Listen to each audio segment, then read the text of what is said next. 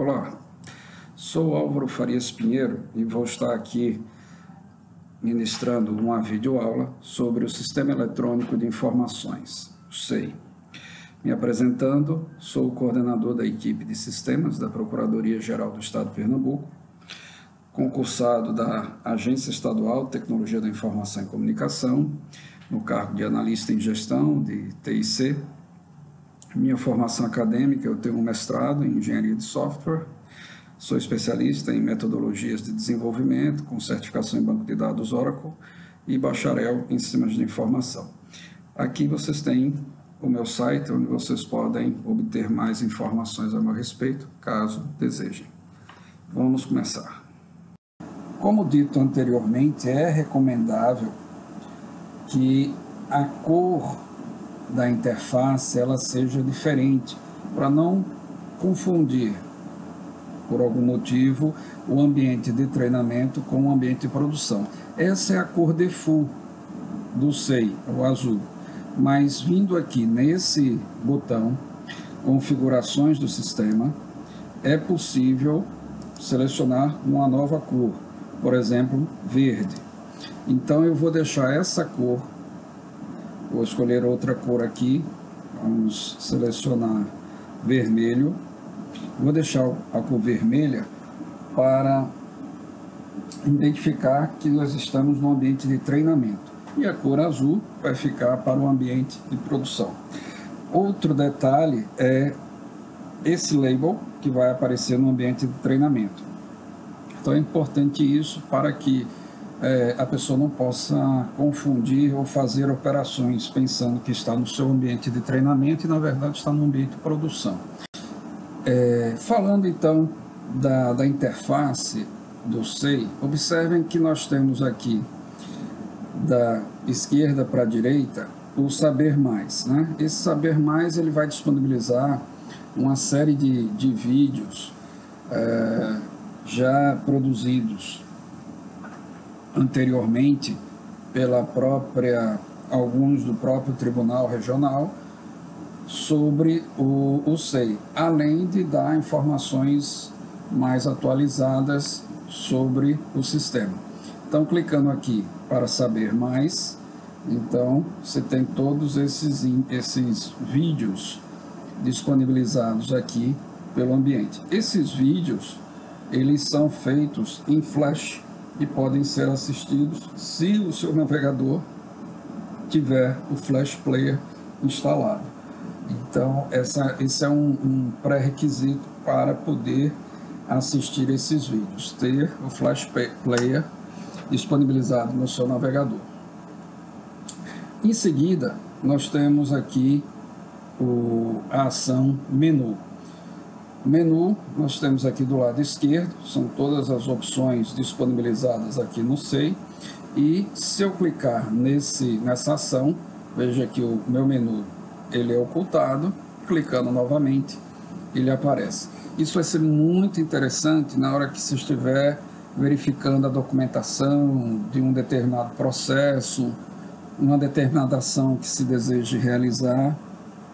Então, é, pode-se ganhar uma maior área de trabalho ocultando o menu.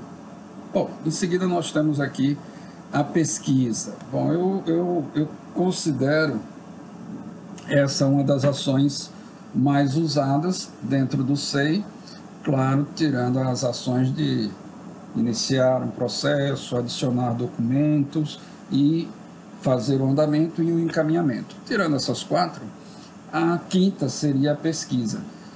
Então, ela é, é, de grande relevância, por isso vocês vão encontrar duas opções de acessar a pesquisa. Nesse menu suspenso aqui ou no menu do SEI.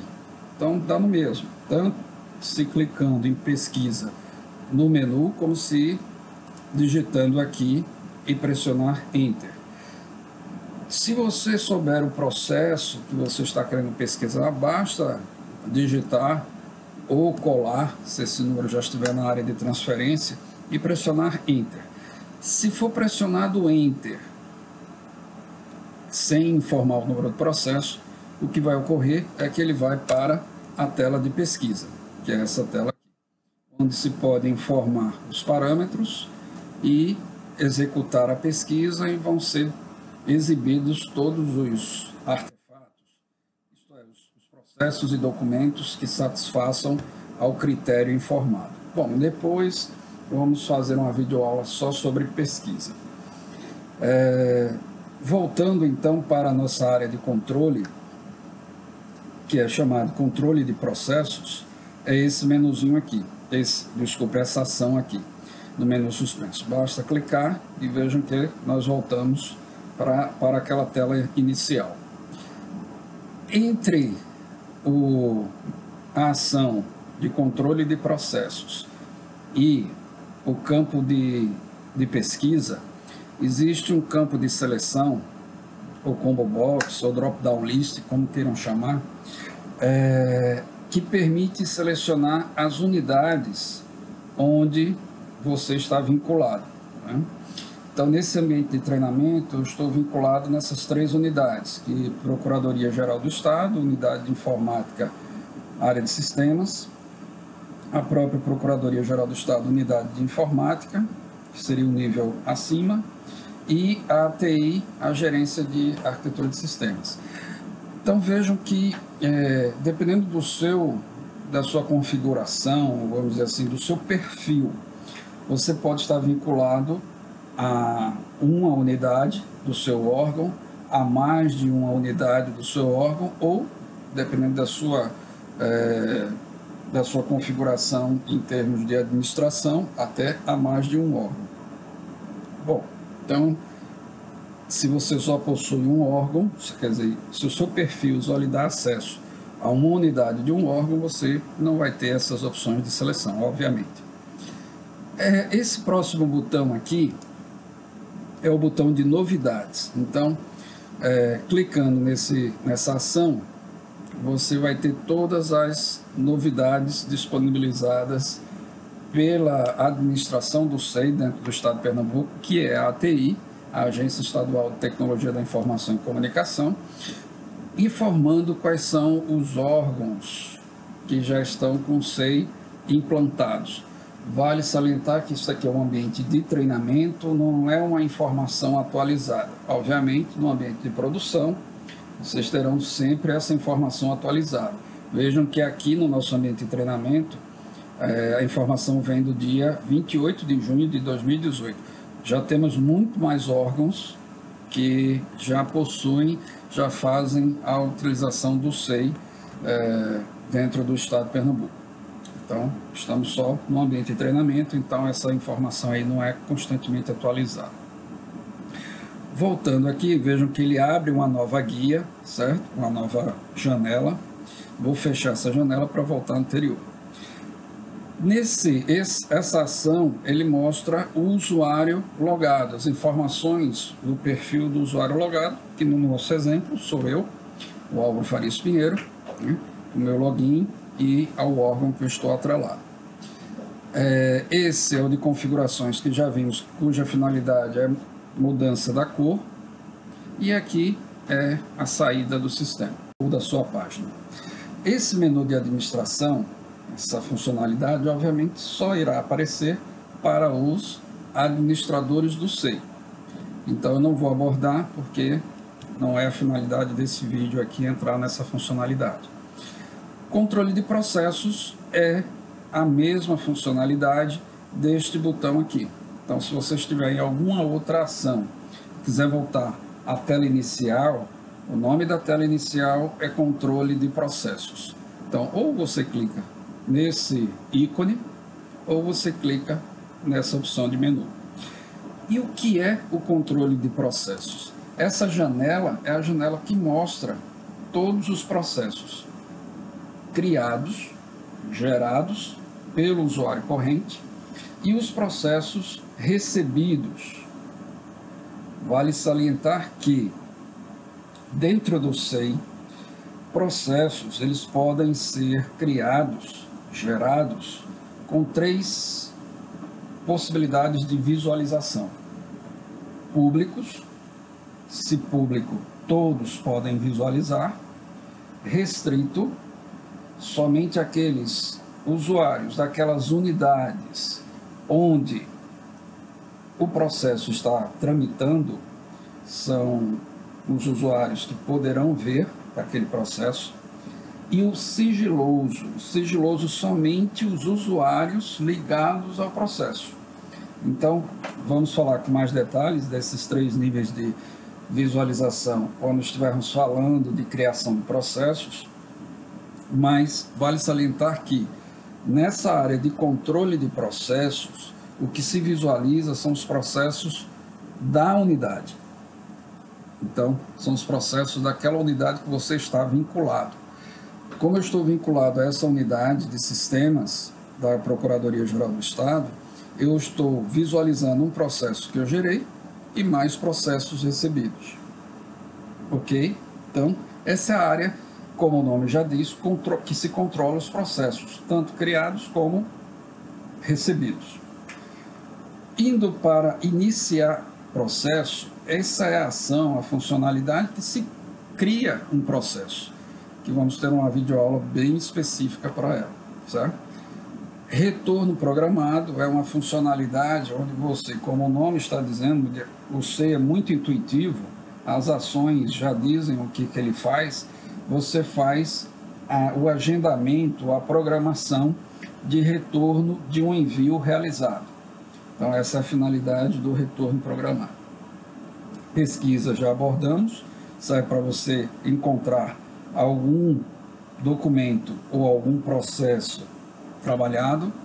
É, vão existir várias formas de pesquisa, essa é a forma, vamos dizer assim, tradicional, podendo ser acessada por aqui ou por este campo de pesquisa.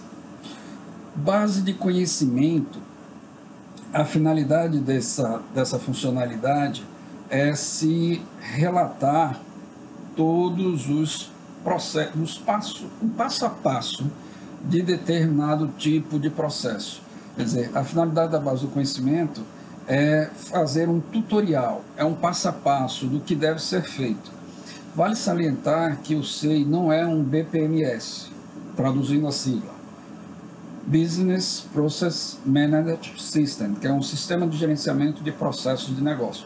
Ele não é um BPMS, ele é um GED, um, um gerador eletrônico de documentos, um gerenciador, melhor dizendo, eletrônico de documentos.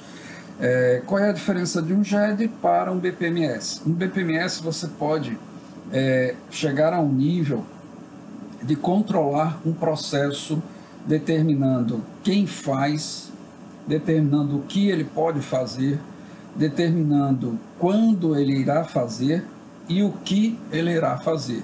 Quer dizer, ele ele é um sistema muito mais amarrado em termos de controle de processo na sua concepção. Quer dizer, em outras palavras, você monta um esqueleto do que deve ser feito, quem vai poder fazer e o que vai ser gerado, e aí o sistema ele vai controlando e evitando que as exceções, evitando que os erros ocorram do tipo é, um passo seja realizado antes de um outro já pré-determinado.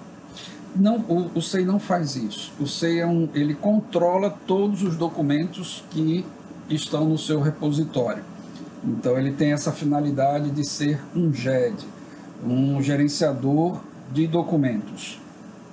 Agora, essa funcionalidade base de conhecimento, ela dá, vamos dizer assim, é um, ela permite um princípio de um gerenciamento de processo, onde você pode é, determinar o passo a passo, mas não, não no sentido de controle. O sistema não irá fazer críticas se você não seguir aquele passo a passo que foi colocado ali. Ele serve mais como um tutorial.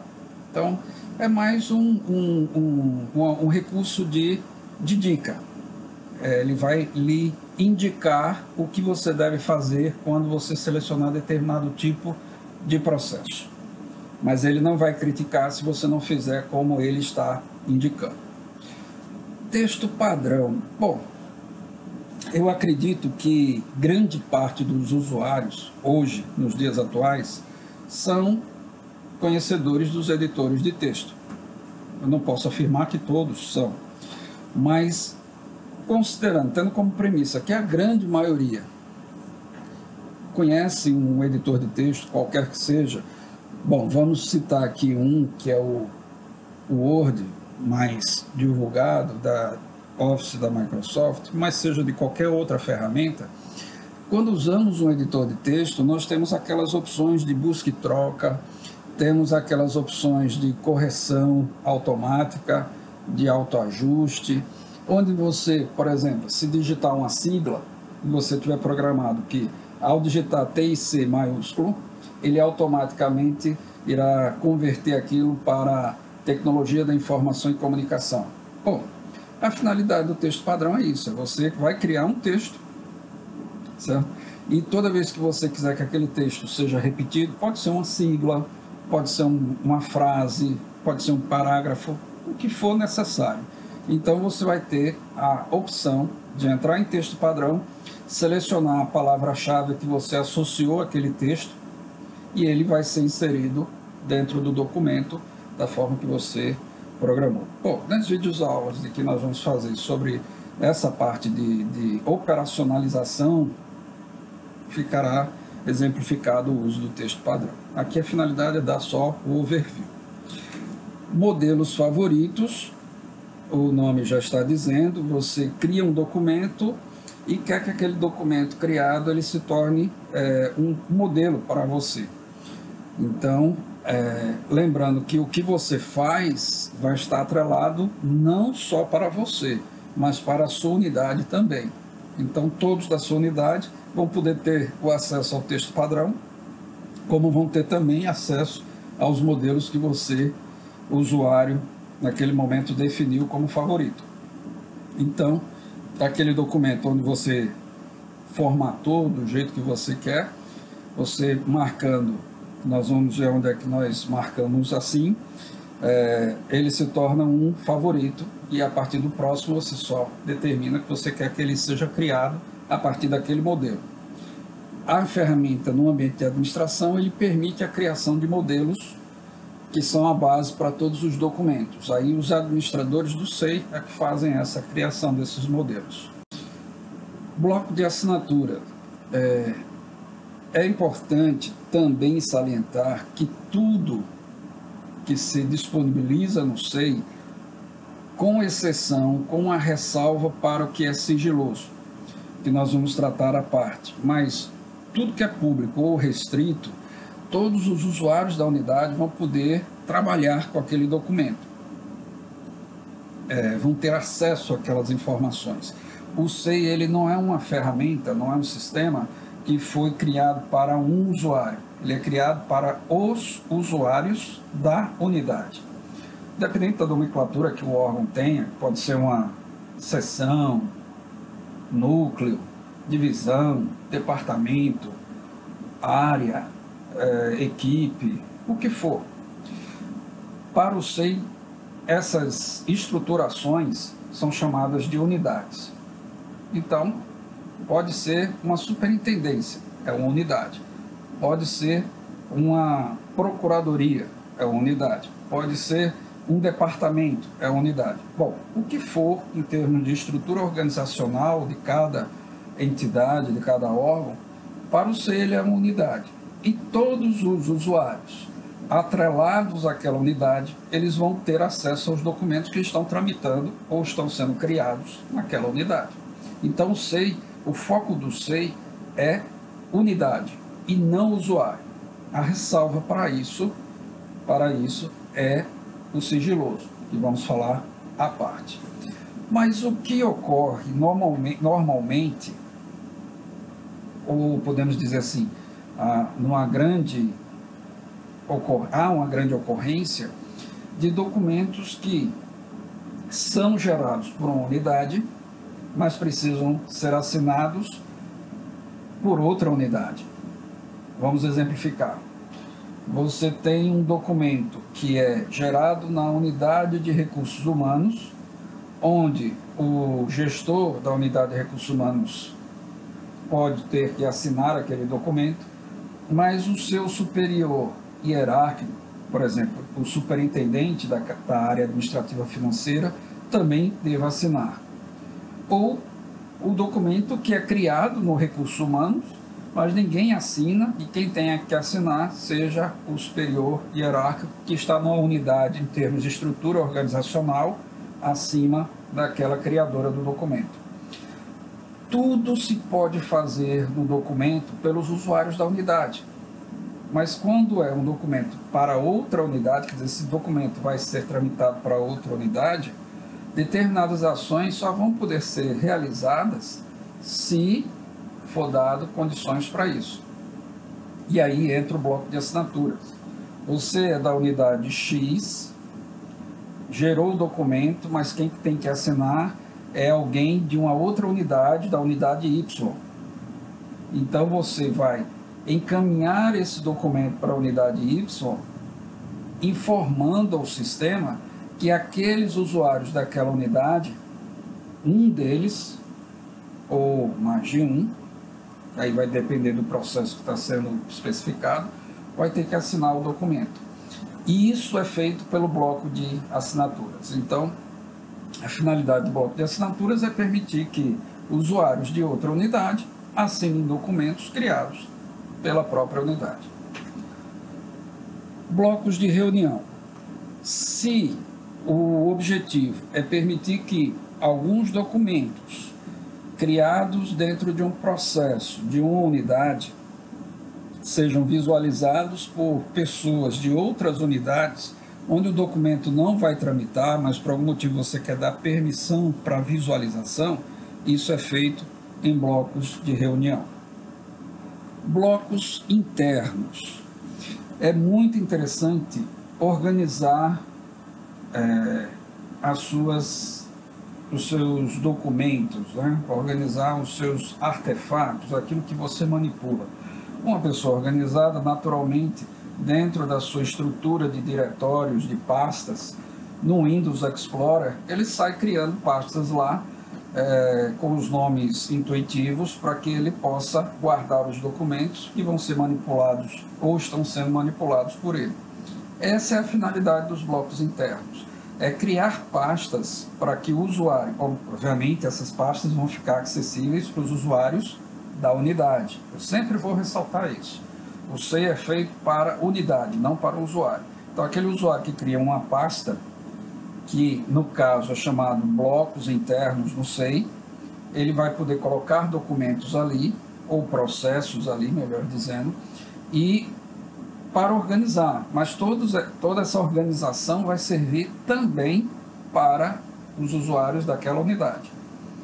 Então você pode criar blocos internos com os seus nomes, os nomes dos usuários, para identificar que os demais aqueles são os arquivos que X está manipulando, ou com nomes intuitivos para que os demais daquela unidade também possam utilizar aqueles blocos. Contatos é, como o nome já está dizendo, é uma agenda eletrônica é, dos contatos que podem ser é, interessantes ser controlados pelos usuários da unidade. Processos sobre, sobre testados. Esse é um recurso que deve ser usado com certa cautela, porque é uma forma de dar uma pausa no processo em relação ao sistema. É, o sistema internamente ele tem uma contagem, dependendo de, do que, que foi do que foi montado dentro do SEI, ele tem uma contagem de tempo. Então, por exemplo, se você fez um, uma programação de retorno de um determinado processo, quando você faz o encaminhamento, então vai haver a contagem de tempo. Se o processo está numa determinada unidade ele ainda não foi arquivado, não foi concluído, essa contagem está, esse contador está em, em, em atividade internamente no sistema. Se você faz o sobretestar daquele processo, então você vai dar um, vai congelar para o sistema essa, essa contagem. Porém, é, nenhum dos envolvidos naquele processo vão poder manipular aquele processo, quer dizer, inserir novos documentos e assim por diante, enquanto ele estiver nesse, nesse estado. Então, é, é preciso uma certa cautela no uso dessa opção. Vamos ter uma videoaula específica para ele. Acompanhamento especial é um recurso muito interessante quando você quer ou quando você deseja é, fazer um acompanhamento de perto de um determinado processo. Imagine que você ou criou ou recebeu um processo que você fez alguma, alguma ação nele, deu um despacho, um mandamento, adicionou novos documentos e encaminhou esse processo para a próxima unidade no fluxo que ele deve seguir. Mas você quer manter o olho nele, você quer é, observar como é que está o andamento desse processo por todas as unidades que ele tem que passar pelo fluxo, unidades de dentro do órgão ou de fora do órgão. Então, o recurso interessante para fazer isso é colocar acompanhamento especial. Claro que você, em qualquer, a qualquer momento, vai poder pesquisar, mas o acompanhamento é um, uma pesquisa já imediata, né? ele já vai mostrar aquele processo que você está muito interessado nele. Porque a pesquisa vai ter um trabalhinho a mais, você vai ter que informar alguns parâmetros para localizar, vai aparecer para você uma gama de processos e documentos que atendem aqueles critérios de pesquisa até você achar o que você quer. Aí ele vai uma pesquisa mais direta. Marcadores. Esse é um recurso interessante para uso dentro da unidade. O marcador ele não prossegue para as próximas unidades. O que eu quero dizer é o seguinte: você fez um, é, colocou um post-it no, um, um, uma nota, uma observação naquele processo. Você quer alertar, por exemplo, ao chefe da unidade que ele precisa assinar aquele documento que você criou. Então você vai botar esse lembrete, essa nota, esse post-it, esse marcador, como você chama, alertando, chamando a atenção que deve ser feita uma ação ali naquele documento ou na, na, em algo daquele processo. Mas quando você faz a tramitação desse processo para uma nova unidade, seja do mesmo órgão ou de outro órgão, aqueles marcadores são perdidos. O marcador ele só serve para a unidade corrente. Pontos de controle, como o nome está dizendo, são checkpoints que você pode fazer para verificar se o processo está andando como deveria andar dentro do seu da sua base de conhecimento, né? Então são, são bandeirinhas que você vai colocar, são que normalmente nós chamamos de checkpoints, né, pontos de checagem dentro do processo. Estatística, você vai poder ter uma série de gráficos, vamos mostrar esses gráficos, de como anda a utilização do SEI dentro da sua unidade. É, grupos, existe a possibilidade de criação de grupos, como se cria grupos para e-mails nos clientes de e-mails, por exemplo, como se faz no Expresso. Também se pode fazer no SEI, tanto para e-mail, como para contatos, como para envios dentro das, dos, das tramitações. Inspeção administrativa, o nome já está dizendo, é um recurso de auditoria. Relatórios, não existem tantos relatórios disponíveis, mas aqui já se consegue ter é, algumas visualizações para consulta. Eu tenho um documento selecionado. Eu agora vou selecionar um processo. Observaram que meus ícones mudaram.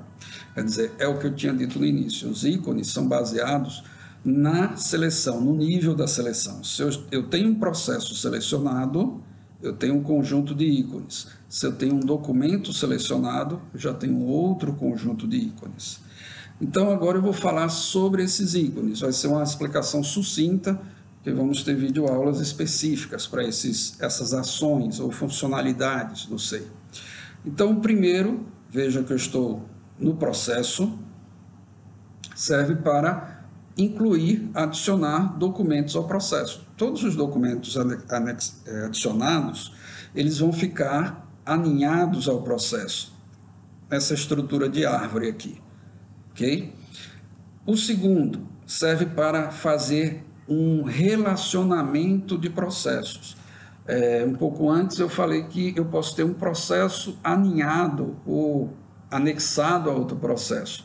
essa ligação, esse link pode ser através de relacionamento ou de anexo, que vamos explicar no momento específico.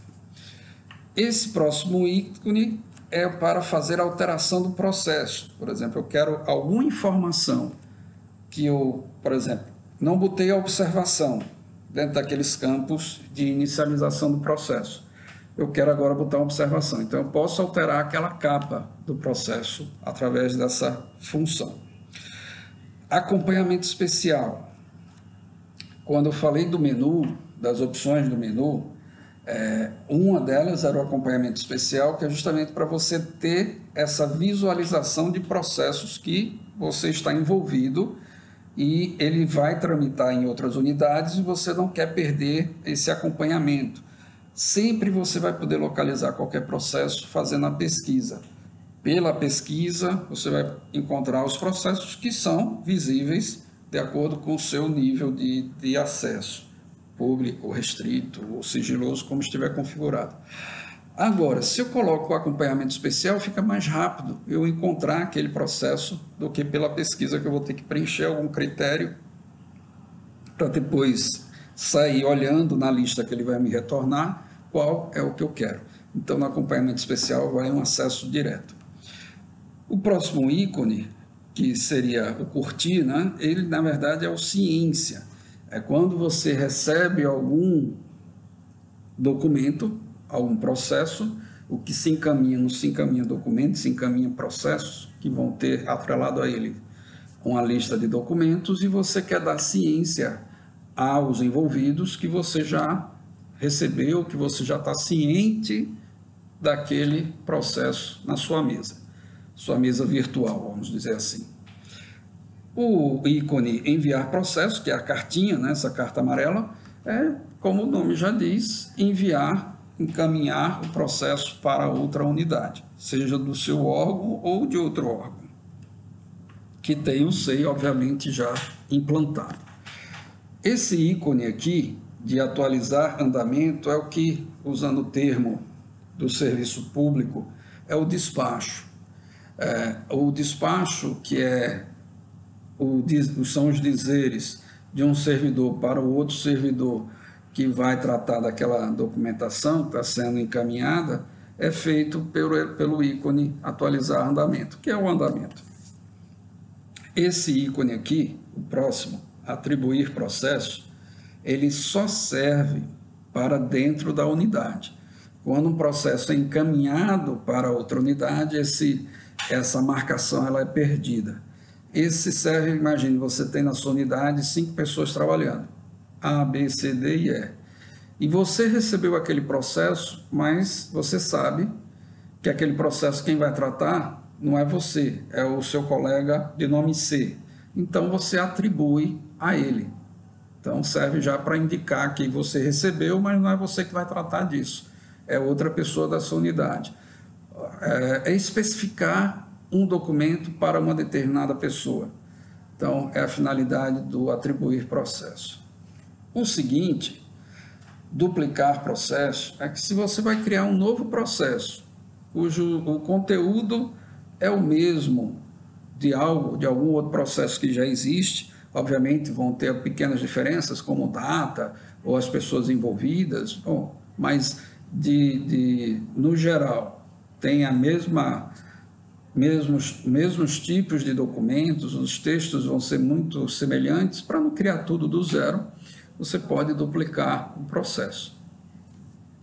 O próximo, enviar correspondência eletrônica. Bom, tem duas finalidades. É, muitas vezes você faz todo o processo e você quer ainda, além de enviar esse processo dentro do SEI, você quer dar mais uma, uma chamar é, mais a atenção do envolvido ou dos envolvidos, fazendo um encaminhamento de e-mail para aquelas pessoas. Você pode encaminhar externamente. Mas é interessante que o encaminhamento seja feito aqui dentro do SEI por este ícone. Porque qual é a vantagem? Porque o registro de e-mail vai ser armazenado no processo. Então, além do, do processo ser enviado para a mesa daquela unidade, ele também vai receber o e-mail e esse e-mail também vai fazer parte do processo. Vai ser mais um documento do processo. Então é interessante que o envio de e-mail seja feito internamente. E outra grande utilidade é que em alguns órgãos que o SEI ainda não está implantado, ele pode ser inicializado, feito todo o documento aqui e depois o documento ser encaminhado por e-mail, já que ele não pode ser encaminhado pelo SEI, porque ainda não foi implantado dentro lá do, do daquele órgão. É, o próximo ícone é o relacionamento de processo, significa que o relacionamento entre um processo e outro pode ser feito aqui, nessa, nesse ícone. Significa que, é, além de eu ter a opção de relacionar, iniciar o relacionamento, eu tenho também esse outro ícone que mostra os processos relacionados. Incluir bloco, incluir em bloco. É, esse, esse ícone ou essa ferramenta, ela é importantíssima para a inclusão de bloco de assinaturas, é, blocos de, no caso aqui, não de bloco de assinatura, mas de blocos internos ou blocos de reunião. Só que o ícone que inclui bloco de assinatura é esse ícone também. Aí você pode até perguntar, por que eu não posso incluir um bloco de assinatura pelo processo? Porque você assina documento e não assina processo. Então, na verdade, o ícone que inclui no bloco de assinatura só vai existir quando selecionar documento, mas o ícone também vai ser esse. O próximo é gerenciar disponibilizações de acesso externo. Isso é para um recurso que nós chamamos de usuários externos, que são, por exemplo, fornecedores. São aqueles que estão fora do, do SEI e é, você quer disponibilizar um documento para aquele fornecedor assinar. Então, existe esse gerenciamento de usuários externos, que essas credenciais são gerenciadas aqui pelo ícone. É, esse anotações, é o que normalmente chamamos de post-it, é a possibilidade de você botar um, uma marcação dentro do processo para chamar atenção sobre algum, algum detalhe, tipo assim, é, falta assinatura, é, favor é, despachar, alguma, alguma observação que se queira dar no processo. Vale salientar que é, as anotações só são visíveis dentro da unidade. Quando esse processo for encaminhado, essas anotações, da mesma forma que as atribuições, serão perdidas, porque elas só têm validade dentro da unidade. É, o próximo sobre testar é colocar, é pausar o processo. Eu já fiz um comentário no menu, quando falamos na videoaula de menu, é usar esse recurso de forma muito cautelosa, porque no momento em que você sobretesta um processo, você pausa aquele processo. Então ninguém mais pode trabalhar com aquele processo até você tirar ele desse estado. Então outras unidades que estejam trabalhando com esse processo não vão mais poder anexar documentos, não vão poder alterar documentos enquanto ele estiver sobretestado. Então, cuidado ao usar esse recurso. É, anexar processo é como se relacionar um processo. Obviamente existe uma diferença, não teria sentido dois ícones fazendo a mesma coisa. É, é, é uma diferença sutil, mas em relação a desvincular o que foi anexado. Quer dizer, num você, o próprio usuário pode é, vincular e tirar o vínculo, no outro o usuário pode vincular, mas não pode mais tirar o vínculo. Teria que é, solicitar ao administrador do SEI a retirada desse vínculo. Mas basicamente ambos servem para fazer que um processo é, seja aninhado ou, ou vinculado a um outro processo já existente. É, o próximo, concluir processo, é no momento que você quer arquivar aquele processo, todo o trâmite já ocorreu, o processo foi finalizado, então é arquivado. É, gerar arquivo PDF do processo é fazer com que aqueles documentos na ato digitais ou aqueles documentos externos que foram incluídos no processo sejam, sejam gerados em PDF para alguma utilização externa do SEI. Então, existe essa funcionalidade. É, gerar arquivos zip é uma possibilidade também. Já, se um processo tem muitos documentos, você pode compactar esses documentos num único arquivo, o arquivo zipado, que é o arquivo compactado, e fazer o destino adequado. É, marcador, é, o marcador é o post-it, né, propriamente dito. Já esse de nota é, é uma observação que se quer dar ao, ao processo. E esse marcador é para você gerenciar esses post-its que você vai criar. Os post-its, ou melhor dizendo, os marcadores, eles são como se fosse uma etiquetazinha que você vai colocar, que pode ser em cor, né? Você pode determinar a cor vermelha para criticidade, isso fica a critério do, dos usuários da unidade. É, vale salientar que os marcadores também não, não são encaminhados. Vermelho é alta é, criticidade alta, amarelo é criticidade média, verde é criticidade ou azul, criticidade, criticidade baixa. Bom, aí fica a critério dos usuários da unidade. O botão controle de processos é o mesmo aqui do controle de processos, que é o mesmo do controle de processos. São três formas de, de chegar na mesma janela, que é aquela tela inicial de controle de processos.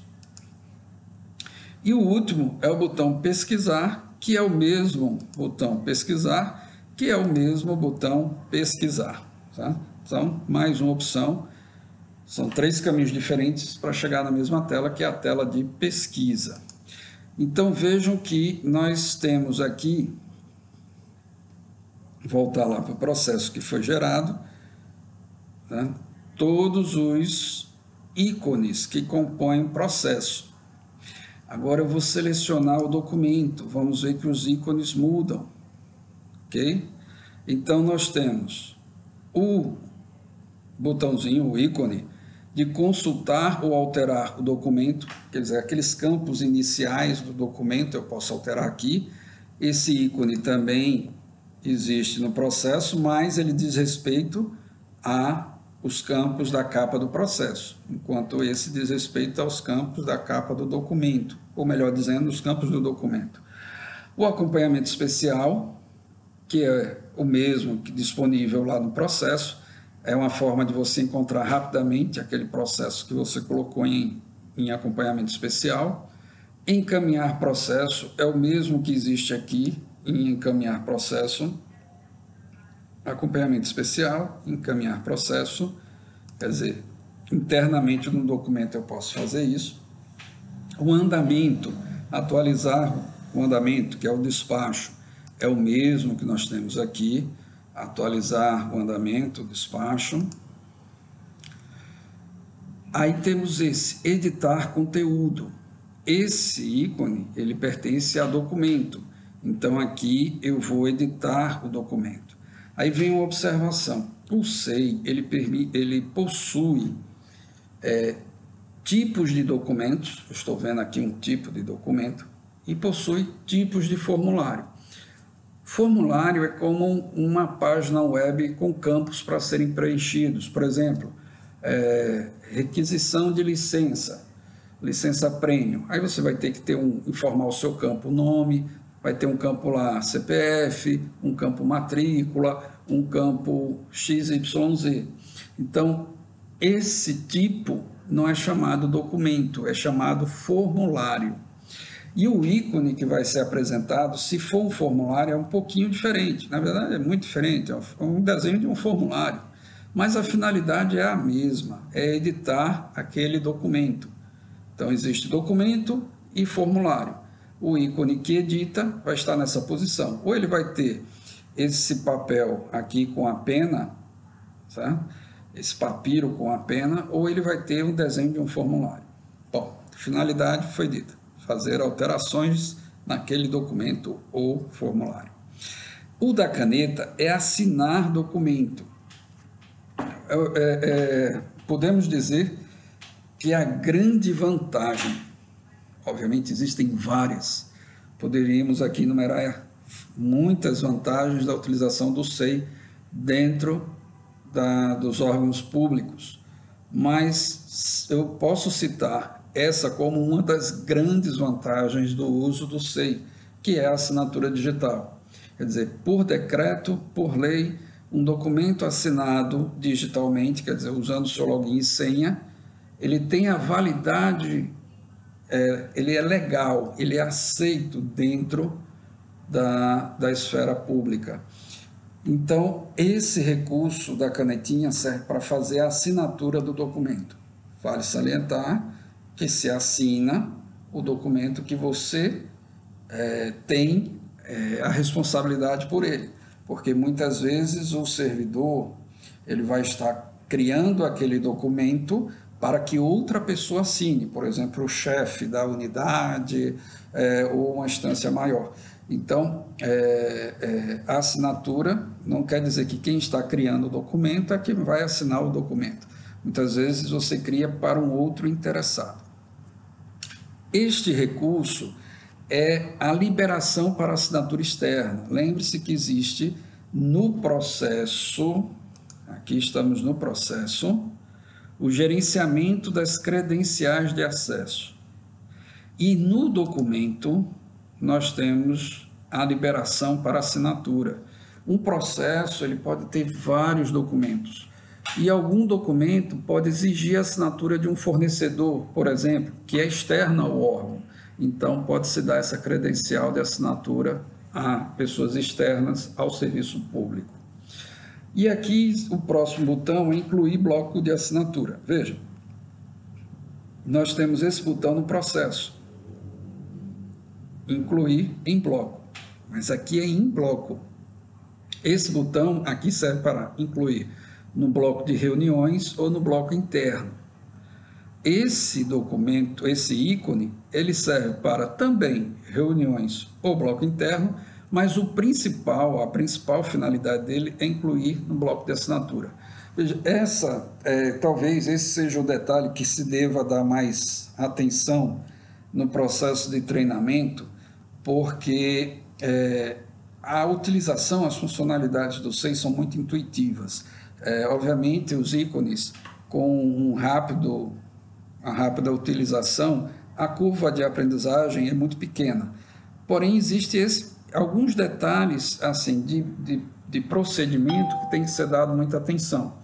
E esse da, do incluir no bloco de assinatura é um, um dos poucos. Quando você cria um documento, esse documento ele está acessível para, para assinatura para, para todos os usuários da unidade.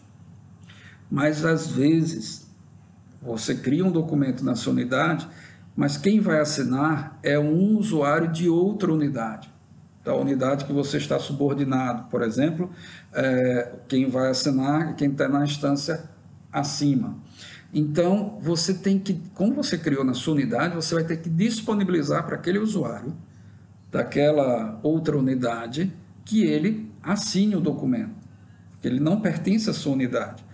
A sua unidade pode ser até na estrutura hierárquica, está abaixo daquela, mas para o C as unidades elas são independentes. As unidades, o C enxerga as unidades de todos os órgãos. Então não existe essa estrutura hierárquica amarrada para assinaturas. Então essa assinatura tem que ser é, é, explícita, tem que ser informada de forma explícita. Existe uma hierarquia, existe a hierarquia da estrutura organizacional das unidades dentro do órgão, mas não é visualizada para o princípio de assinatura digital. Então, quando você cria um documento na sua unidade e outra unidade vai assinar, você vai ter que disponibilizar um bloco de assinaturas para que aquela pessoa ou aquelas pessoas daquela unidade possam assinar o documento. O próximo ícone, e vamos ter uma videoaula, obviamente, específica para isso. O próximo ícone, cancelar documento, ele tem a finalidade de, como o nome está dizendo, cancelar aquele documento anexado de forma errada. Você incluiu um documento, mas se arrependeu da inclusão, você cancela. Observe que um pouco mais na frente nós temos o botão de excluir. Bom, se você acabou de criar esse documento e esse documento ainda dentro desse processo não foi tramitado para outra unidade, você pode excluir. Então, repetindo, você tem um processo que você criou, ele está dentro da unidade, você está anexando documentos e você percebeu que aquele documento não era para estar ali por algum motivo, você ainda não tramitou o documento. Melhor dizendo, você não tramitou o processo. Então você pode excluir. Mas se o processo já foi tramitado para outra unidade, não há possibilidade de exclusão. Esse ícone não aparece. Então, o que se pode fazer é cancelar o documento. Então, na verdade, o cancelar seria como se fosse uma exclusão. A, a única diferença é que o cancelamento é quando o processo já tramitou. Então, você não tem a opção de excluir, tem a opção de cancelar. Ok? É, o próximo é adicionar ao modelo de favoritos. É como eu disse anteriormente, quando você está criando um tipo de processo que dá a opção de você se basear num modelo ou se basear é, num texto padrão ou de nenhum, nós criamos baseado em nenhum mas eu poderia ter criado um documento aqui e achei que aquele documento tem que ser o um modelo para determinado tipo de, de processo, tipo de documento, então eu adiciono ao meu favoritos. Obviamente, isso só serve para a unidade. Esse favoritos não vai ser visto por outras unidades. Versionamentos ou versões do documento. Se você cria um documento e assina esse documento, então, esse documento foi finalizado. Ele está dentro da sua unidade ainda, você não tramitou, mas você percebeu que é necessário fazer correções. Então, você vai editar de novo esse documento. Esse documento já estava assinado, aquela assinatura vai ser perdida. Automaticamente, o sistema vai cancelar aquela assinatura, você vai poder editar, fazer as correções necessárias. Obviamente, você vai ter que assinar de novo. Mas com esse botão aqui, você vai poder verificar as várias versões que o documento teve. Uma grande vantagem desse botão de versionamento é que você pode ter alterado e se arrependeu e querer voltar à versão anterior ou até a outras versões anteriores. Esse botão vai lhe possibilitar isso. O próximo botão, gerar circular, é muito interessante, como o próprio nome está dizendo, quando você quer fazer uma comunicação interna, uma circular interna. Então, de vez você sair é, referenciando os, as várias unidades, você vai poder fazer isso através da gerar circular. Vamos ter uma videoaula específica para isso. Imprimir web, bom, ah, aí quando eu falei que existem inúmeras vantagens do uso do SEI, do Sistema Eletrônico de Informações, dentro do, dos órgãos públicos, uma das grandes vantagens, um dos grandes motivadores é, ou patrocinadores do processo se dá em relação à sustentabilidade, quer dizer, a economia, a questão de, de preservação da natureza em você não fazer impressão em papel. Não se deve, é, o que se busca com esse tipo de implantação de sistema é abolir impressão, abolir papel. Ah, se por algum fator XYZ seja necessário a impressão, é possível fazê-la aqui. Um recurso que é muito utilizado é, é essa impressão, mas imprimindo em PDF, para você armazenar aquele documento em PDF. Porém, vale salientar que existe já um botão específico para gerar em PDF que está em processos. Aí é só selecionar o documento que deseja, entre os vários que vão existir no seu processo, e imprimir. Esse já falamos, que é excluir o documento, e esse é concluir o processo que nós temos também lá na área de processos. Então, como foi dito, existem ícones específicos de um documento, existem ícones específicos de um processo, E existem, na, sua, na verdade, na sua grande maioria, os ícones comuns, que independente se você está com um processo ou um documento selecionado, as ações vão ser as mesmas. Então, salientando, o que nós temos em primeiro nível é o processo, e dentro deles vamos ter os documentos que são vinculados, atrelados àquele processo. Com isso terminamos essa videoaula. Nós podemos escolher qual tipo de processo que se deseja. Então, sempre vai ser apresentado os processos que foram utilizados recentemente.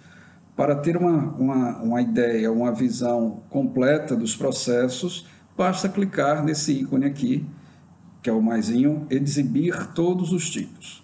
Então, todos os tipos vão ser exibidos, vão ser listados. Bom, vamos lá falar sobre essa apresentação de tarja vermelha, que vocês podem estar observando, que vocês estão observando é, nessa listagem dos tipos de processos. Vejam que são muitos os tipos de processo. Okay? Esses tipos de processo podem ser até criados pelos administradores de cada é, órgão, de acordo com a necessidade do órgão. Ok? Bom, esses tipos de processos em vermelho, com essa tarja vermelha, são os tipos de processos sigilosos. Eu falei é, em outra videoaula que existem três tipos de processos em relação à visibilidade: os processos públicos, os processos restritos e os processos sigilosos. Os sigilosos são os que vão aparecer com a tarja vermelha. É, é importante salientar que o SEI ele foi construído, foi, foi pensado pelo Tribunal Regional Federal, é, se baseando na Lei de Acesso à Informação.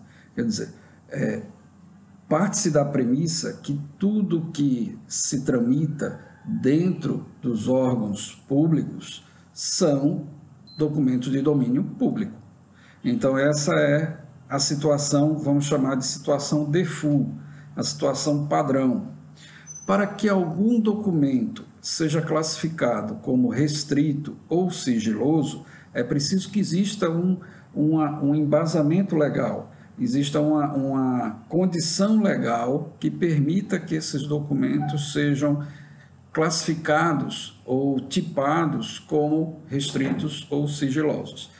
Repetindo, um documento restrito, ele fica visível apenas para os usuários da unidade criadora e da unidade a qual o documento foi tramitado, ou as unidades por onde o documento foi tramitado. Fora esse escopo, não é mais visualizado. Documento público, o nome já está dizendo, ele é global. Todos podem ter acesso.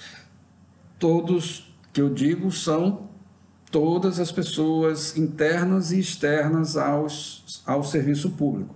Basta ter é, o número do processo que ele poderá fazer essa consulta. É, mais na frente, em outra videoaula, será exibido um recurso disponível para que é, pessoas possam acessar de fora dos órgãos os processos os quais eles têm é, envolvimento, têm interesse. Agora, isso só é permitido se o processo for público. Caso contrário, se for restrito, todas as pessoas, todos os usuários ligados à unidade ou às unidades por onde o processo tramitou, elas vão ter também condições de acesso. Agora, se for sigiloso, somente os usuários. Aí é, é a única parte do SEI onde não se trata comunidade, e sim se trata como usuário. O único ou os usuários que estão atrelados, vinculados àquele documento é que eles vão ter acesso. Fora isso, ninguém mais consegue enxergar. Mesmo se a pessoa tiver o número do processo, mas se ele não está vinculado ao processo e esse processo é sigiloso, ele não vai conseguir visualizar, como se o processo não existisse dentro do sistema, para aqueles usuários que não estão linkados, vinculados ao processo sigiloso. E o que caracteriza um tipo de processo sigiloso é essa tarja vermelha. Todos os demais processos que não têm a tarja vermelha, eles podem ser classificados como públicos ou restritos. Se ele tiver classificado, se ele estiver na tarja vermelha, ele tiver essa tarja vermelha, ele tanto pode ser um processo criado como um processo público, um processo restrito e também sigiloso. Os demais, a opção sigiloso, ela fica desabilitada. Então, é importante entender que se inicia um processo pelo tipo de processo. Então, vou escolher aqui um, um, um processo aleatoriamente, vou botar aqui comunicação outros, só para exemplificar. Escolhido o tipo de processo, a pessoa vai preencher, o usuário vai preencher, como podemos dizer, a capa do processo, né? a capa do lote a capa daquele conjunto de documentos que vão ser atrelados a esse processo. O preenchimento consiste em informar se ele é um protocolo automático ou um protocolo informado, onde ele pode já informar aqui um número e dizer a data de autuação, que pode ser selecionada por esse ícone aqui. Caso seja informado, o SEI ele vai aceitar qualquer numeração, caso essa numeração não exista. Se ela já existir, ele vai criticar. Agora, deixando em automático, o próprio SEI vai gerar o número de protocolo seguindo o padrão de nomenclatura para, para essa numeração. É recomendável que se siga a, o protocolo automático, para que o próprio sistema controle, faça, faça a geração dos, as, a sequência dos números automaticamente, sem ter que o usuário se preocupar com isso. É, em seguida vem o tipo de processo, que vai ser de acordo com o que foi selecionado, mas nesse processo inicial ainda se pode até mudar o tipo de processo, se ele selecionou é, por engano. A especificação, importantíssimo é, informar a especificação é, do que se trata esse processo. Né? Então, eu vou colocar aqui uma especificação, exemplo. E aqui seria o, o título do processo, o que, o que todos os documentos que serão anexados vão, vão tratar. A classificação por assunto. Bom, essa classificação é, com raras exceções, todo tipo de processo, quando é criado por um administrador do SEI, ele já associa o tipo de assunto. Então, esse tipo de assunto, o usuário ele não tem como criar o tipo de assunto, mas ele pode especificar outros tipos que existem na tabela. Isso é a mesma coisa em relação aos tipos de processo. O usuário também não vai poder criar tipos de processo nem criar tipos de documento. Só os administradores podem fazer isso. Porém, o tipo de assunto nem os administradores têm condições de criar, porque ele é uma tabela já padronizada e que tem que ser respeitada pela, para garantir a classificação correta dos documentos. Então, o que o usuário pode fazer é que, se o tipo de assunto que é especificado por default por, para, por, para aquele tipo de processo não atende, ele pode procurar na base de dados outros assuntos. Basta informar é, algo que alguma palavra-chave que se associe ao que ele está procurando. Se essa palavra-chave existir dentro da relação, vai aparecer e basta ele selecionar. Se esse item já, já existir na lista, essa mensagem será informada, que aquele item já foi é, inserido na lista. Eu vou pegar aqui uma, um, uma palavra-chave qualquer, é, regulação ou regimento, é, regimento. Me apareceu essas duas opções aqui, eu vou selecionar essa. Vejam que agora eu estou informando que esse processo ele tem dois assuntos, ele, ele está linkado a dois assuntos. Caso não seja, seja só o que eu inseri, eu posso selecionar o assunto e retirar o não desejado. Mas eu tenho que ter um assunto associado. Bom, o assunto que, que eu considero associado é esse aqui, certo? Então, não é o assunto que vem por default. Eu posso até dizer que 90% ou mais é, o usuário ele não vai se preocupar com o assunto, ele já vai deixar o assunto, o default que já é, é, é automaticamente informado quando é selecionado o tipo de processo. Mas existe a possibilidade de mudar o assunto de acordo com uma necessidade mais, mais específica. Interessados. Interessados são as pessoas que é, para qual o processo, lembre-se que nós estamos falando aqui é, de tipo de processo, nós estamos criando a, a capa de lote ou a capa do processo, a qual é, existe é, é, interesse nesses documentos que vão ser inseridos nesse processo. Então aqui se listaria todas as pessoas envolvidas, se existirem mais de uma. Não é um campo obrigatório. Você não precisa informar se você ainda não sabe quem é o interessado do documento. Mas, normalmente, por exemplo, se eu estou fazendo um documento que diz respeito a férias, quem é o interessado do documento é o próprio usuário que está criando esse documento. Então, você colocaria seu nome. Se é um documento que você está fazendo para a sua chefia, o interessado é a sua chefia. Para simplificar o entendimento do, do que se deve ou quem se deve informar interessado, é só raciocinar da seguinte forma: o interessado é quem vai assinar o documento.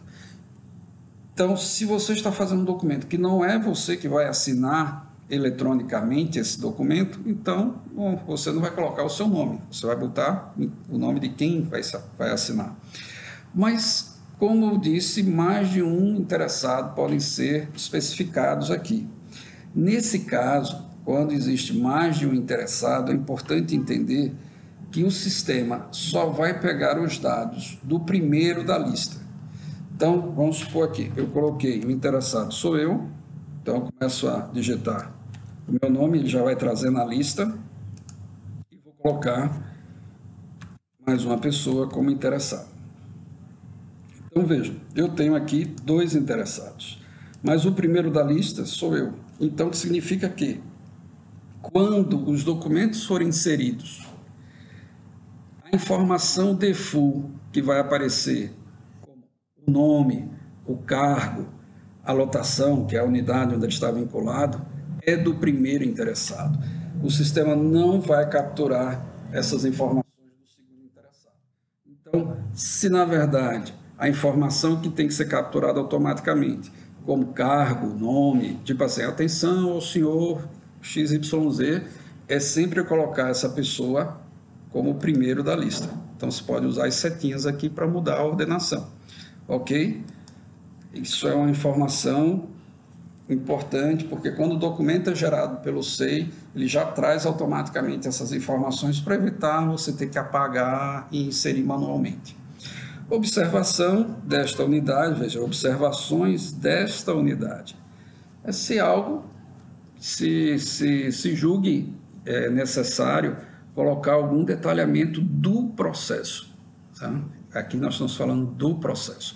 Lembre-se que o processo é como se fosse aquele, aquele, aquela capa onde dentro dele, daquele envelope, estariam vários documentos lá dentro. Aí vem o nível de acesso. Veja que quando eu selecionei esse tipo de processo, comunicação, outros, ele não tinha tarja vermelha. Como ele não tinha tarja vermelha, a opção sigiloso não me é disponibilizada. Se esse documento estivesse com a tarja vermelha, eu também teria essa opção disponibilizada. Sem a tarja vermelha, eu só tenho duas opções. Ou eu coloco ele como restrito, ou coloco ele como público. Se eu colocar como restrito, eu sou obrigado a dar hipótese legal. Isto é, eu tenho que informar qual o embasamento legal que me justifica a restringir o acesso a essa informação. Aí eu volto a lembrar, o SEI se baseia na LAI, na Lei de Acesso à Informação, onde o padrão é ser público. Toda a informação tramitada pelos serviços públicos, é de domínio público. Se não for, por alguma justificativa baseada com base na lei, essa lei tem que ser informada. Por exemplo, controle interno. Então, existe uma justificativa legal para tornar algo restrito, que seria o controle interno. Se essa opção sigiloso, se fosse um tipo de processo, é, na característica de sigiloso, na taxa vermelha, eu também teria que informar qual a hipótese legal para justificar que aquele processo é sigiloso. Tipo, é um documento é, de segurança pública que tem, não pode ter é, acesso público por motivos óbvios aí que envolvem é, estratégia da segurança. No restrito, é, justifica-se essa questão do, do sigiloso. Vamos dar um exemplo. Você está construindo ainda o documento e o documento ainda não está completo, ele falta ser finalizado ou revisado por alguma instância do órgão. Então, se justifica esse documento estar restrito à unidade ou às unidades onde ele está tramitando.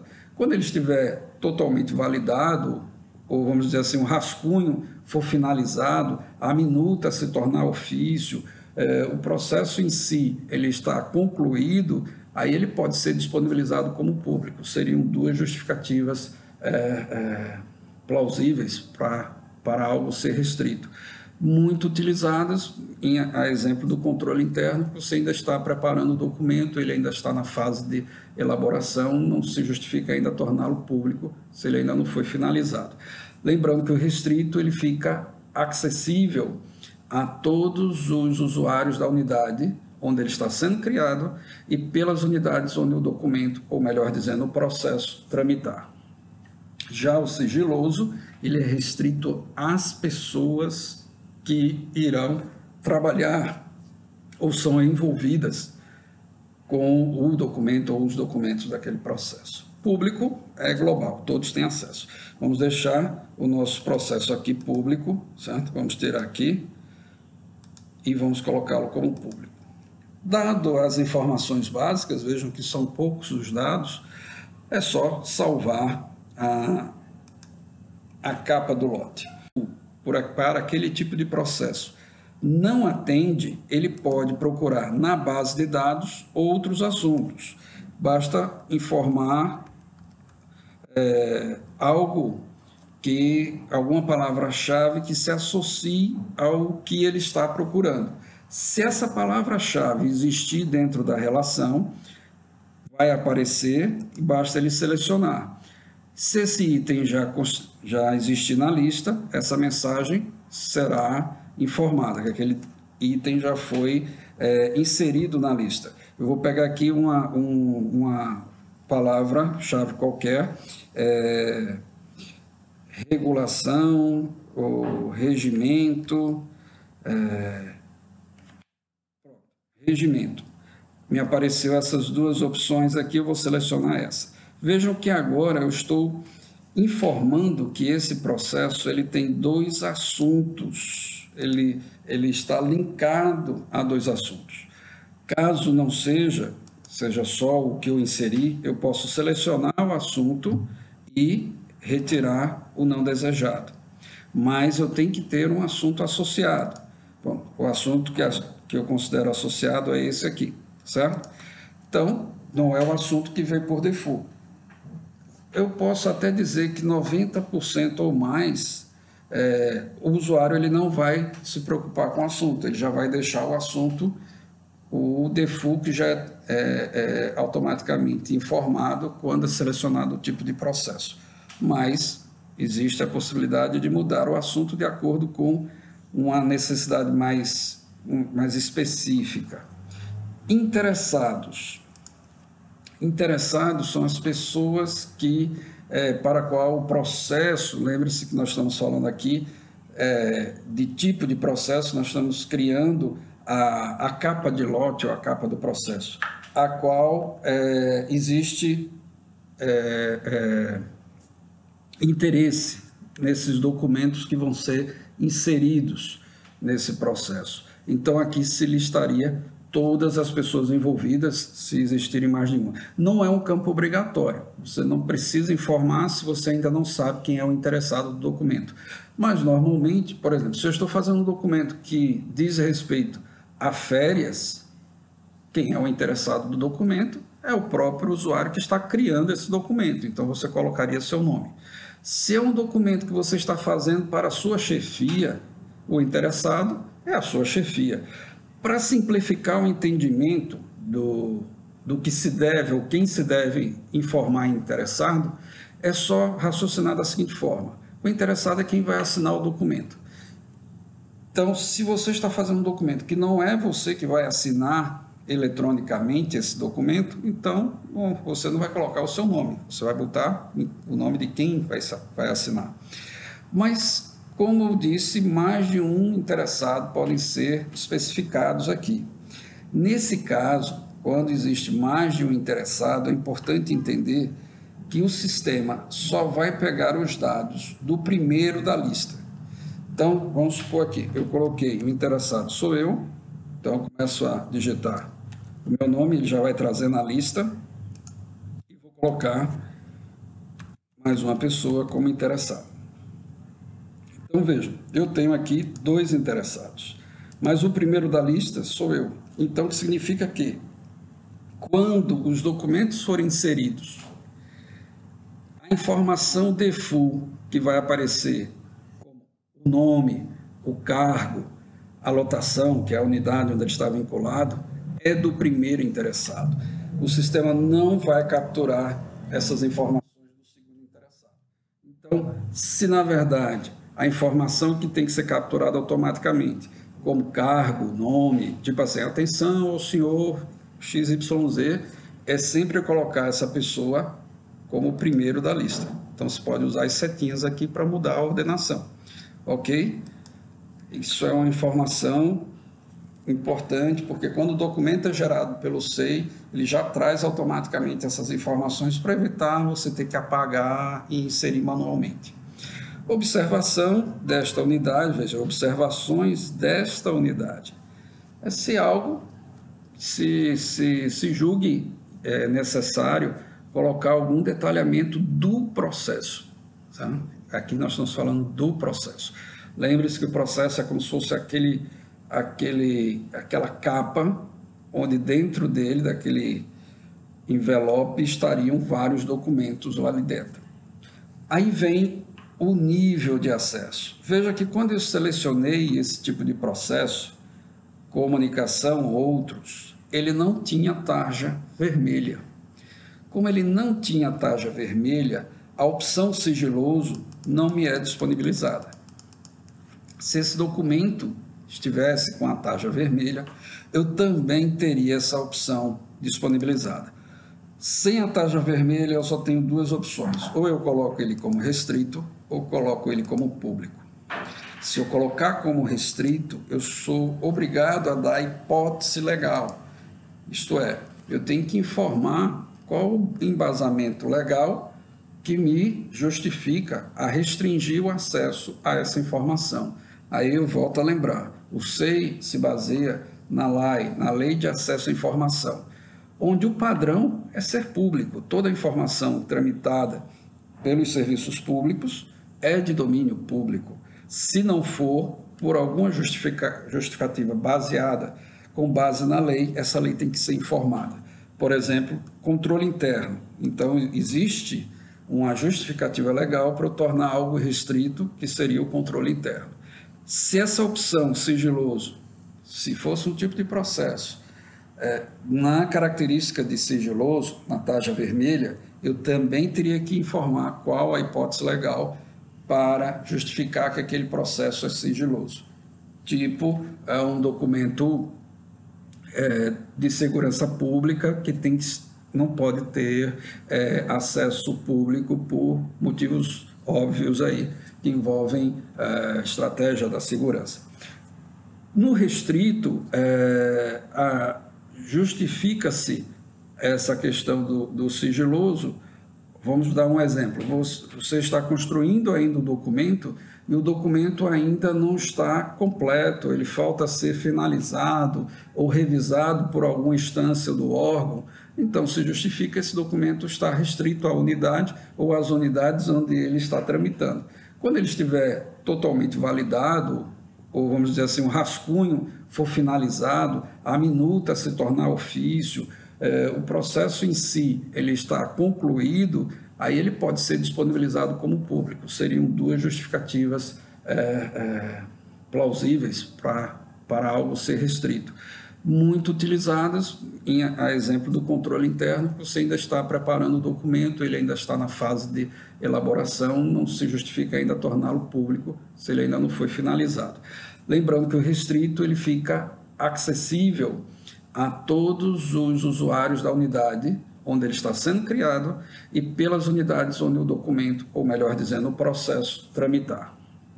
Já o sigiloso, ele é restrito às pessoas que irão trabalhar ou são envolvidas com o documento ou os documentos daquele processo. Público é global, todos têm acesso.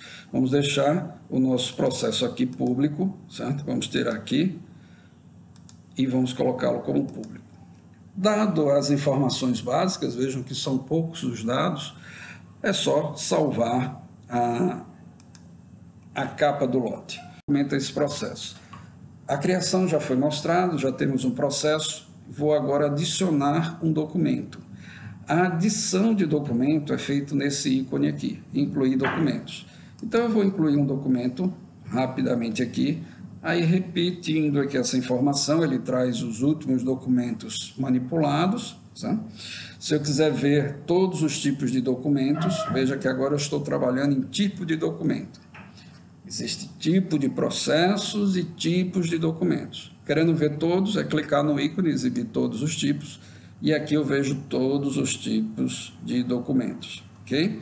São documentos que estão é, atrelados ao tipo de processo que foi especificado. Vale salientar que, independente do tipo de documento, isso independe do tipo de documento, ou melhor dizendo, independe do tipo de processo, sempre vai existir a opção de externo. Todos os demais tipos de documentos são chamados de documentos internos, internos ao SEI. Mas sempre independente, repetindo, do tipo de processo selecionado, vai ter a opção de externo. Externo vai possibilitar se adicionar documentos externos ao SEI. Vale salientar que em Pernambuco o decreto que oficializa a assinatura digital, ela permite que o usuário e a senha do SEI é, tenham a validade como assinatura digital para documentos nato digitais para aqueles documentos que foram, que nasceram dentro do SEI, foram gerados, criados no SEI. São os documentos internos. Documentos externos vão poder ser autenticados. A autenticação será semelhante à assinatura, mas é diferente da assinatura. A autenticação é dando a, a, o reconhecimento de fé, de ofício, de um servidor, que aquele documento é, é real é baseado, aquela cópia, aquela digitalização é baseada no original. Agora, não é a assinatura digital. A assinatura digital exige que o documento seja nato digital, ele tenha nascido dentro do SEI. Então, eu vou selecionar aqui um tipo de documento, vou selecionar comunicação interna, e aí me aparece os campos de inicialização da documentação interna.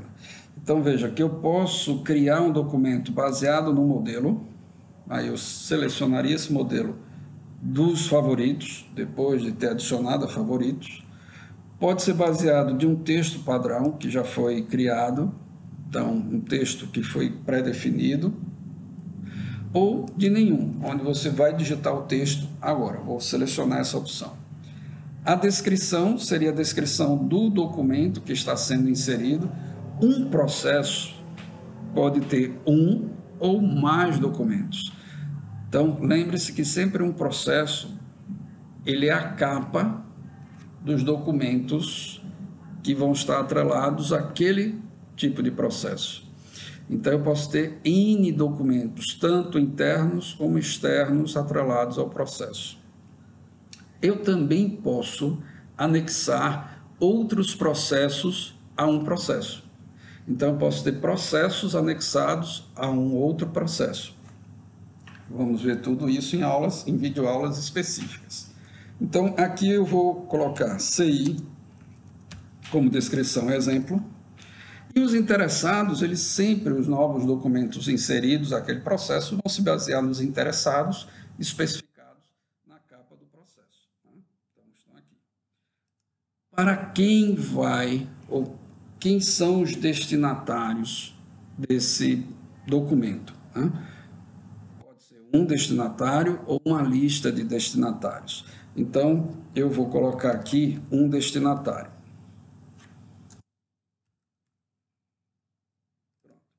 Então, eu tenho dois interessados e um destinatário. Ok? Classificação. Lembrando que o destinatário pode ter mais de um destinatário. Novamente, vale salientar que se eu tiver uma lista de destinatários, a informação que vai ser gerada por default para quem vai, tipo assim, a senhora, ao senhor, ao excelentíssimo, fulano de tal, e o seu cargo, é baseado no primeiro da lista. Se eu tiver uma lista aqui de mais de um, eu posso até mudar pelas setinhas. Ou excluir isso, incluindo de novo, aí tanto faz. Mas é sempre retirado primeiro da lista. O assunto, da mesma forma que o interessado, ele já vai trazer do informado lá no, no processo, a observação, se para esse documento, veja que nós temos observação para o processo, esse aqui é uma observação do documento que está, está sendo adicionado. E o documento, ele também pode ter é, um nível de visibilidade específica. Aí vale informar um detalhe importante. Veja, se eu tenho um processo restrito, eu disse que meu processo é restrito, e eu coloco documentos dizendo que esses documentos são públicos, o nível mais interno, que é o restrito, é o que prevalece. Mesmo informando que o documento é público, para o sistema, todos os documentos ali são restritos, porque você disse que o processo é restrito. Se eu tivesse dito que o documento, que melhor dizendo, que o processo era sigiloso, e eu colocar documentos informando que são públicos, para o sistema, esses documentos são sigilosos, porque o que prevalece é o nível mais interno. Então, nós temos o nível público, que é mais externo, que é global, depois temos o nível restrito e o mais interno é o sigiloso. Então, se eu informo, meu processo, meu tipo de processo, é, ele permite sigiloso. E eu coloco cinco documentos, e esses cinco documentos eu deixo dois deles públicos, dois deles restritos e um sigiloso. Ora, se o meu processo é sigiloso, todos os cinco são sigilosos. Então eu teria que mudar o processo para restrito ou mudar para público para que aqueles documentos lá dentro pudessem ter aquele nível de visibilidade. Eu disse que o meu processo é público, por default, é, até atendendo à lei de acesso à informação, quase todos os documentos não, não possuem uma justificativa para serem restritos ou sigilosos, para serem, precisam estar embasados na lei, então nós vamos, por default, sair criando documentos públicos. Então eu vou colocar aqui, meu processo é público, esse documento é público. E aí eu confirmo o dado. Então vejo que na hora que eu estou criando meu documento, vai me aparecer aqui as informações por default em relação a o que foi especificado. Como dito anteriormente, é recomendável que a cor da interface ela seja diferente para não confundir por algum motivo, o ambiente de treinamento com o ambiente de produção. Essa é a cor default do SEI, o azul. Mas vindo aqui nesse botão, configurações do sistema, é possível selecionar uma nova cor, por exemplo, verde. Então eu vou deixar essa cor, vou escolher outra cor aqui, vamos selecionar vermelho, vou deixar a cor vermelha para identificar que nós estamos no ambiente de treinamento e a cor azul vai ficar para o ambiente de produção. Outro detalhe é esse label que vai aparecer no ambiente de treinamento. Então é importante isso para que é, a pessoa não possa confundir ou fazer operações pensando que está no seu ambiente de treinamento e na verdade está no ambiente de produção.